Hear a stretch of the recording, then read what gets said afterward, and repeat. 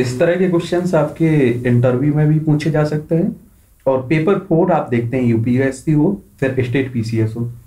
एक paper four होता है मेंस में आपका, नीति शास्त्र, सत्यनिष्ठा और अभिरुचि। उसमें भी आप इस तरह के सोचने वाले क्वेश्चंस बनते रहते हैं। तो अभी हाल में ही आपने देखा है कि प्रशांत भूषण का केस, अवमानना का केस जो चलाया हुआ है उन पर, एक पूरी सामान्य जानकारी दे देता हूँ। ठीक है? उसके बाद आपसे पूछूँगा कि उन्हें जो उन्हें सजा मिल रही है, या उन्हें जो जुर्माना लगा हुआ है, उन्हें भरना चाहिए या नहीं भरना चाहिए। और मैं आपसे यही उम्मीद करता हूँ कि एक समझदार पढ़े लिखे व्यक्ति की तरह आप जवाब देंगे। आप अंधभक्तों की तरह, ना बेवकूफों की तरह जवाब नहीं देंगे।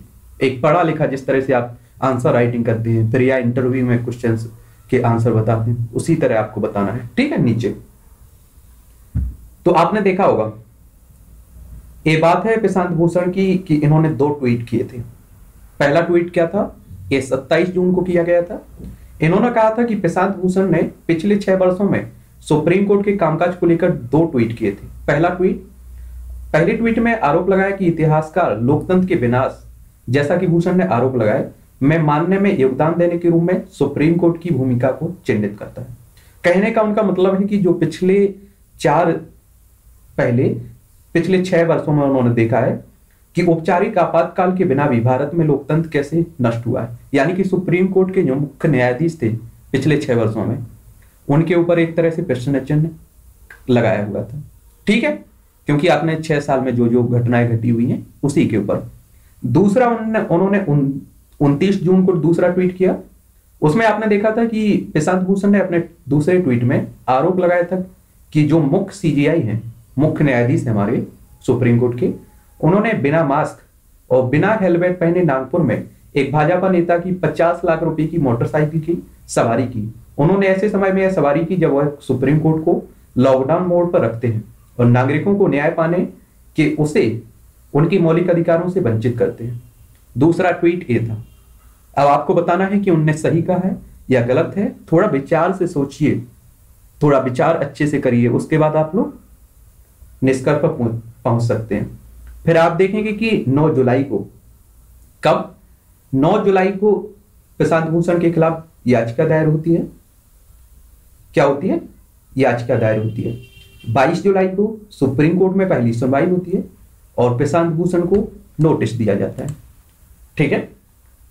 फिर देखेंगे दो अगस्त आता है। इस दिन भूषण ने प्रशांत भूषण ने माफ़ी मांगने से इनकार कर दिया। उन्हें कहा गया कि आप माफ़ी मांग लीजिए।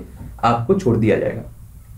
पाँच अगस्त को दोबारा सुनवाई होती है और इसमें देखेंगे न्यायमूर्ति अरुण मिश्रा, न्यायमूर्ति बी आर गवई और कृष्ण मुरारी की अध्यक्षता वाली तीन न्यायाधीश की पीठ उनकी सुनवाई करती है और अपना फैसला सुरक्षित रखती है।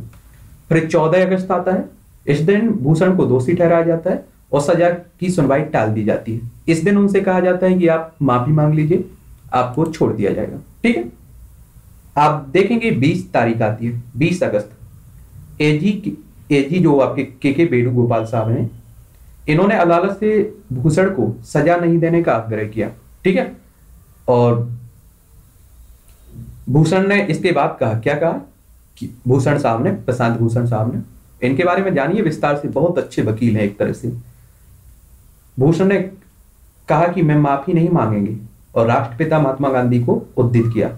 कहने का मतलब है कि एक समय आपने देखा होगा कि महात्मा गांधी से अंग्रेज़ों ने कहा कि आपको क्या सजा दी जाए। तो उन्होंने कहा था कि आप जो बेहतर सजा हो सकते, लेकिन मैं माफ़ी नहीं मांगूँगा।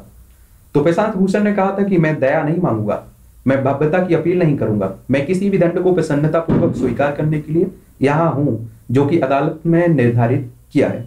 यह एक नागरिक का सर्वोच्च कर्तव्य है। अदालत ने भूषण को सोचने के लिए कुछ समय भी दिया था उस समय, और सुनवाई खत्म कर दी थी। फिर आता है आपका चौबीस अगस्त। चौबीस अगस्त को भूषण ने अपना पक्ष रखा। उन्होंने माफ़ी नहीं मांगी। ठीक है? फिर आता है आपका पच्चीस अगस्त। सजा सुनाए जाने का पर फैसला फिर सुरक्षित रख लिया जाता है। इनसे एक तरह से बार बार कहा जाता है कि आप माफ़ी मांग लीजिए। ये हाल वैसा ही है कि आप देखते हैं कि एक चोर पकड़ा जाता है। उससे कहा जाता है कि आप माफ़ी मांग लीजिए, आपको छोड़ दिया जाता है। गलत डायरेक्शन में मत लीजिए मेरा चोर कहने का मतलब। आपको समझाना है केवल। लेकिन क्या कहता है? कोर्ट कहता है उससे कि माफ़ी मांग लीजिए। वो कहता है, नहीं मांगूँगा मैं माफ़ी। तो एक तरह से आप सोचिए कि यही किया प्रशांत भूषण साहब ने। कि प्रशांत भूषण साहब यही बोल रहे हैं कि मैंने कुछ गलत नहीं किया।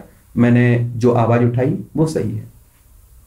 और उन्होंने सबसे अच्छी बात ये भी कही कि हो सकता है कि चलिए आज सजा हो जाए। लेकिन आने वाले इतिहास में इसका एनालिसिस किया जाएगा, यानी कि बताया जाएगा कि सही किया था या गलत। तो आज आपने देखा है, आज है इकतीस तारीख, और आज आपने देखा है क्या सजा हुई है ने एक रुपया का जुर्माना देना है, या फिर अगर एक रुपये का जुर्माना नहीं भरते हैं तो इन्हें क्या तीन महीने की सजा होगी और तीन साल तक के लिए वकालत पर रोक लग जाएगी। एक रुपये का जुर्माना भरिए। देखिए, लिए हुए अभी ट्वीट भी किया इन्होंने। दिख रहा है आपको? तो एक रुपये का या तो जुर्माना भर दीजिए, या फिर आप तीन महीने के लिए जेल हो सकती है, सजा हो सकती है, और तीन साल के तक के लिए वकालत पर रोक लग जाएगी।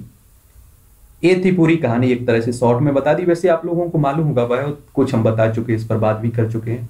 पूरा आपका डिस्कशन किया था। अवमानना क्या होता है, कैसे होता है, सब कुछ बात किए हुए आपको ये बताना है कि क्या हो सकता है? क्या एक रुपये का जुर्माना दे देना चाहिए? देखिए, अगर एक रुपये जुर्माना देते हैं तो एक तरह से माफ़ी ही है। कोई मतलब दान में नहीं दिया जा रहा है एक रुपया।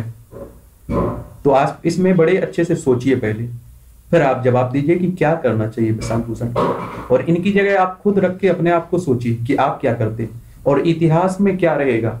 देखिए, हमारी ज़िंदगी साठ साल, सत्तर साल, सौ साल की है। आपकी ज़िंदगी हो सकती है कि और बड़ी हो। लेकिन इतिहास में आपको किस तरह से देखा जाएगा? उसे आप लोग याद रखिए। उस तरह से आप सोचिए। और एक सिविल एस्पिरेंट की तरह आपको सोचना है, ठीक है? बड़े अच्छे से। आप लोगों के लिए बताना है आपको क्या बोल रहे हैं। बड़ी अच्छे से मर्यादा में आपको आंसर देना है लेकिन, ठीक है?